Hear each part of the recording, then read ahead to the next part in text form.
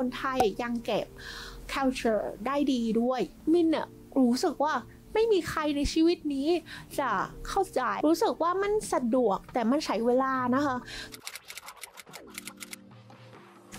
สวัสดีค่ะ ยินดีต้อนรับทุกคนเข้าสู่ช่องเชนชายพูดไทยนะคะ นี่คือมินค่ะ แล้วก็ถ้าใครยังไม่รู้จักมินมินเป็นคนเวียดนามกำลังทำงานแล้วก็อยู่ที่กรุงเทพประมาณ 4 ปีกว่าๆค่ะทำงานสาย marketing แล้วสำหรับช่อง YouTube นี้มินก็อยากฝึกภาษาไทย แล้วก็อยากพูดคุยกันในภาษาไทย แชร์ให้ทุกคนดูว่าชีวิตของชาวต่างชาติเป็นคนเวียดนามอยู่ที่ไทยมันเป็นไงบ้าง คือมินใช้ชีวิตอยู่ที่กรุงเทพประมาณ 4 ปีกว่าแล้ว ก็มีหลายอย่างที่มินรู้สึกว่าชอบ แล้วก็หลายอย่างที่มินรู้สึกว่าไม่ค่อยชอบ แล้วคือวิดีโอนี้มินแชร์จากมุมมอง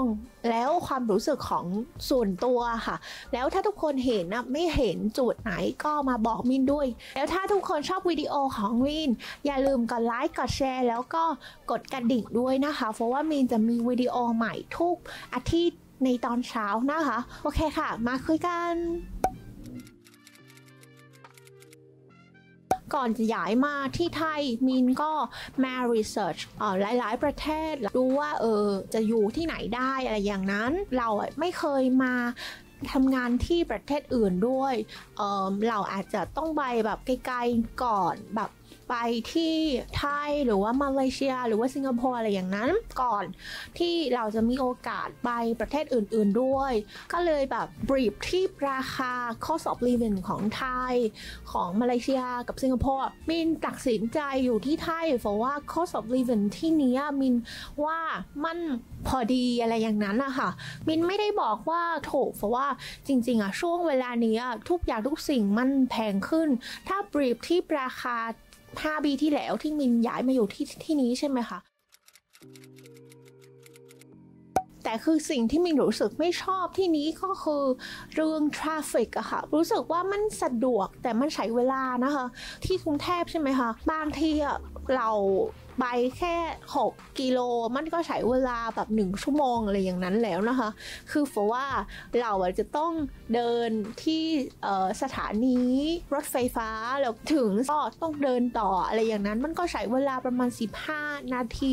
30 นาทีสำหรับการเดินทางแล้วถ้าเรานั่งที่วินอาจจะแบบใช้เงินมากกว่านั้น แล้วก็รถแม่ก็อาจจะต้องเดินแล้ว รถแม่ก็ติดรถด้วย แล้วสิ่งที่มินชอบที่สุดก็คือสติของคนนะคะแบบเวลามินเพิ่งมาประเทศไทยมันก็คือก่อนโควิดใช่ไหมคะคนอะเออไม่ต้องใช้หน้ากากก็บางทีมินเดินในถนนก็เจอคนที่เราไม่รู้จักแล้วเขาก็ยิ้มกับเรา เราไม่เคยเจอแบบนี้เวลาเราอยู่ที่เวียดนาม คนเวียดนามเขาอาจจะไม่ไม่ได้แบบ friendly ขนาดนี้อีกหนึ่งเรื่องอะค่ะ มินก็เวลาไปซื้อของไปสั่งอาหารอะไรอย่างนั้นก็พยายามใช้ภาษาไทยพูดผิดตลอดเวลาแต่คนไทยอะเขาแบบใจดีมากๆ เขาก็ช่วยมินด้วยคือทำให้มินมีบันดาลใจเรียนภาษาไทยไปเหตุผลที่มินได้พูดภาษาไทยคล่องขึ้นอะค่ะเพราะว่าช่วงนี้มินเรียนภาษาไทยที่แพลตฟอร์ม iTalki อะค่ะ คือสิ่งที่ดีสำหรับ iTalki ก็คือเขาเป็นแพลตฟอร์มออนไลน์ใช่ไหมคะ ทุกคนอะสามารถจะเลือกเรียนช่วงไหนเรียนกับใครด้วย ตอนนี้เขามี 150 ภาษาที่ทุกคนจะเลือกได้ เราสามารถจะเรียนกับคนครูเป็นคนท้องถิ่นใน private session ก็ได้นะคะ อย่างเช่นเราอยากเรียนภาษาเวียดนามใช่ไหมคะ ก็มาเลือกครูเลย แล้วก็อ่านข้อมูลของครู คนไหนที่น่าสนใจแล้วก็รู้สึกว่าดี เราก็เลือกคนนั้น ครั้งที่แล้วมินเคยเรียนกับครูเป็นหมอฟันนะคะ แล้วก็คุยกันสนุกมากเลย นอกจากนั้นมินก็เรียนภาษาอังกฤษด้วย But you're considerate in what way? Towards like people? Pronounce in the structures of the language to, to make it uh-huh. soft enough. ใครอยากลองเรียนภาษาเวียดนามที่นี้ก็มากด Sunshine 5 เติมเงินประมาณ4ดอลลาร์ใช่ไหมคะ ประมาณ 300 บาท จะได้รับ 150 บาทนะคะ การที่มินไม่ค่อยชอบก็คือ paperwork ที่ไทยอะค่ะ คือถ้าทุกคนดูวิดีโอที่แล้วที่มินทำสำหรับปัญหาที่มินเจอ เวลามินเพิ่งมาประเทศไทย เพราะว่าที่ไทย process สำหรับการทำเอกสารอะไรต่างๆ มัน complicated สำหรับ คนที่เป็นเจ้าต่างชาติ อย่างเช่นนะต้องมีวีซ่า work permit สำหรับการทำงานใช่ไหมคะ แล้วอีกอันหนึ่งก็คือ 90 days report อะค่ะ เหมือนนะทุก 90 วันอะมินต้องมาแล้วก็บอกเจ้าหน้าที่ว่าเออเรายังอยู่ที่ไทยอะไรอย่างนั้น process มันเปลี่ยนเร็วเกินไปอะไรอย่างนั้นด้วย แล้วมินอะก็ไม่สามารถจะรู้จักทุกอย่างทุกสิ่ง ไม่สามารถจะอัปเดตทุกอย่างทุกสิ่งมินอะรู้สึกว่า ไม่มีใครในชีวิตนี้จะเข้าใจ process การทำ paperwork ของไทยแบบร้อยเปอร์เซ็นต์เลยทำให้มินรู้สึกว่าไม่ค่อยชอบ แต่คือไม่ได้บอกว่า paperwork ที่เวียดนามมันดีกว่านะคะ แต่คือคือการ organize อย่างเช่นการที่เรามีคิวที่ที่ไทยมินรู้สึกว่ามันมัน organize มากกว่า จริง ๆ paperwork กับที่ไหนมันก็มันก็ลำบาก สิ่งที่มินชอบมากก็คือวัฒนธรรมที่ไทยค่ะ รู้สึกว่าคนไทยอะในการที่เขาแก็บแล้วก็ maintain culture ที่ดีมาก อย่างเช่นนะคะไม่ว่าในกรุงเทพเราจะมีแบบ building ที่สูงมากๆ อะไรอย่างนั้นแบบ modern มากๆ แต่คือที่ไหนอะเราก็เห็นพระพระทรงอะไรอย่างนั้นทำให้เรารู้สึกว่า เอ้ย ที่นี้อะ mixture สำหรับเอ่อ modern แล้ว tradition มันดีมากเราเข้า ถนนนี้จะเป็นอีกหนึ่งวายที่เป็นโมเดิร์นแต่ถนนนั้นอาจจะเป็นอีกหนึ่งวายที่เป็น traditions มันทำให้มินรู้สึกแบบ เฮ้ย มันน่าสนใจมาก ๆ คือเคยนั่งเบิร์ส แต่เป็นเป็นเป็นเรือปกติที่คนไทยไปทำงานอะไรอย่างนั้นนะคะที่เวลาเรานักท่องเที่ยวเราไปที่ไทยเรานั่งเรือที่แบบเป็นเป็นเป็นเรือตัวใหญ่อะไรอย่างนั้นเป็น long boat ใช่ไหมคะถ้าลองไปกับ local bus ที่ไทยอะจะรู้สึกว่าเอ้ยน่าสนใจแบบมัน exciting อะค่ะไม่ไม่รู้จะอธิบายยังไง แต่คือมันเป็น cultural vibe ที่มินอธิบายไม่ถูกอะค่ะ culture ที่นี่มัน rich มากๆจริง ๆด้วย แล้วมินก็รู้สึกอามายมาก ๆ ที่คนไทยยังเก็บ culture ได้ดีด้วย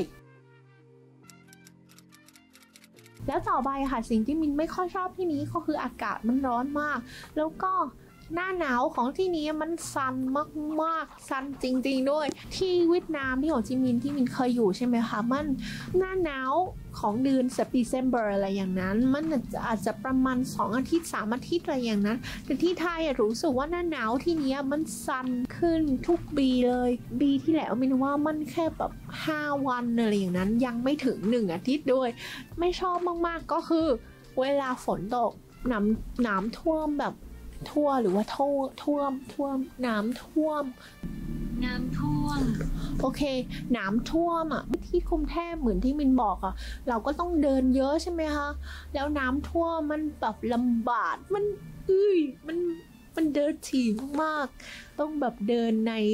ในน้ำด้วย แล้วก็น้ำมันไม่สะอาดใช่มินเกลียดมากๆ แล้วทำให้แบบรองเท้าของเราอะมันมันเปียกด้วย จริงๆ มินก็ไม่ค่อยชอบ ฝนตกที่เวียดนามด้วย เพราะว่าน้ำก็ท่วม คือคือที่โฮจิมินห์นะบางทีน้ำท่วมด้วย แต่คือเราขี่โมไซค์แล้วก็เราไม่ค่อยเดิน บางทีน้ำท่วมมันมันทำให้โมไซค์เสียด้วย ก็อันตรายมากๆ แต่ที่ไทยอะเราเดินมันก็คืออีกระดับหนึ่ง เรารู้สึกว่าเราต้องสู้เอ่อทุกวันในในเวลาที่ช่วงเวลาที่น้ำท่วมอะไรอย่างนั้น ไม่ชอบน้ำท่วมที่ไหนเลยค่ะทุกคน รู้สึกว่าคนไทยทำทำเซอร์วิสเกี่ยวกับการท่องเที่ยวเก่งมาก หรือว่าเขาเป็นสายบุตดาเขาก็เคยแบบทำธุรกิจแบบ ไม่ได้ใจร้อนแบบยิ้มยิ้มแบบ ใจเย็นอะไรอย่างนั้นทำให้คนที่เป็นนักท่องเที่ยวรู้สึกเวลคอมมากสำหรับการยินดีต้อนรับของเขาอะไรอย่างนั้น แล้วก็เออเวลาเราพูดคุยกันหรือว่าถามอะไรบางอย่างอะเขาก็การตอบอะมันก็มีมารยาทด้วยใช่ไหมคะทำให้ทุกๆคนอะรู้สึกว่าอยากกลับมาเที่ยวที่ไทยอีกครั้งหนึ่ง ถ้าเปรียบที่เออสำหรับ landscape ที่ไทยกับเวียดนามอะ มันมันเท่าเท่ากันอะแต่คือทำไมที่ไทยคนมาเที่ยวเยอะกว่า เพราะว่า service ของไทยดีมากๆ การทำธุรกิจ serviceของไทยอะมันดีจริงๆด้วย อืม โอเคค่ะ ขอบคุณมากที่ทุกคนมาดูวิดีโอของมินในวันนี้นะคะ ถ้าใครมีความเห็นอะไรต่างๆ ก็มาบอกมินด้วยในใต้วิดีโอนะคะ แล้วก็ยังไงก็อย่าลืมกดไลค์กดแชร์ แล้วก็กดกระดิ่งกดติดตามให้มินด้วย แล้วก็ถ้าแชร์วิดีโอมินจะดีใจมากๆค่ะเจอกันในวิดีโอหน้านะคะบ๊ายบาย